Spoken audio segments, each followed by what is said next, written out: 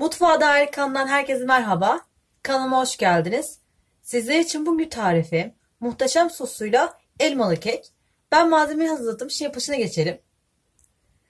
Karıştırma kabı içerisine bir su bardağı yoğurt oda ısıda beklettim. Bir su bardağı toz şeker. Bir su bardağı sıvı yağ. Güzelce karıştıralım. Güzelce karıştırdım. Krema kıvamında oldu. Bu sostan bir su bardağın yakın ayırıyorum üzerine sürmek için.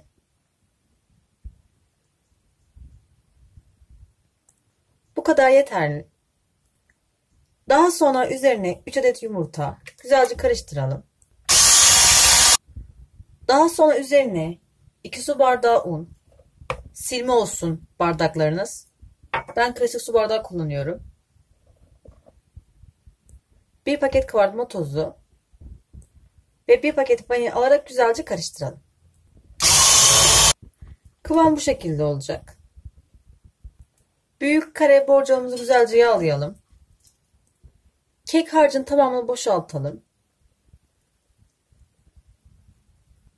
Düzeltelim. Kekimi şimdilik kenara aldım. 2 adet elmamı güzelce soyup ve dilimliyorum. Elmalarımı dilimledim. Kalınlığı bu şekilde olacak. Çok kalın veya ince olmasın. Şimdi üzerine dizelim. Bu şekilde yerleştiriyoruz.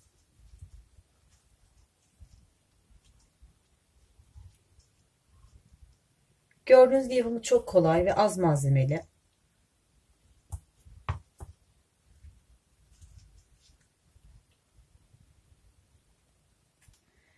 Elmalarımı dizdim. İsterseniz üzerine bir yemek kaşığı kadar kuş üzümü serpiştirebilirsiniz.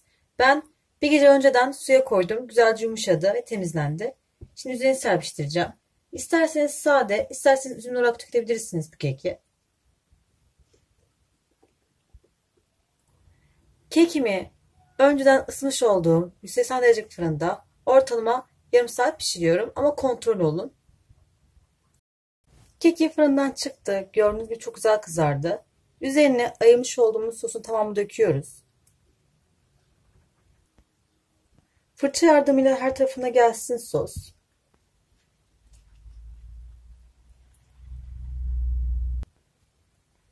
Sosu içine çekmesi için 1 saat dinlendirelim.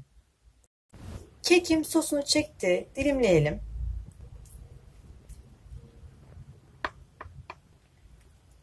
Gördüğünüz gibi yumuşacık oldu zaten kesinlikle denemenizi tavsiye ederim.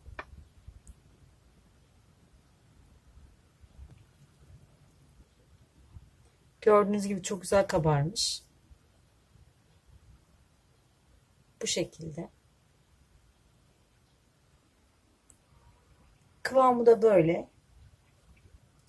Şimdiden deneyecekler afiyet olsun. Kanalıma abone olmayı unutmayın. Farklı görüşmek üzere.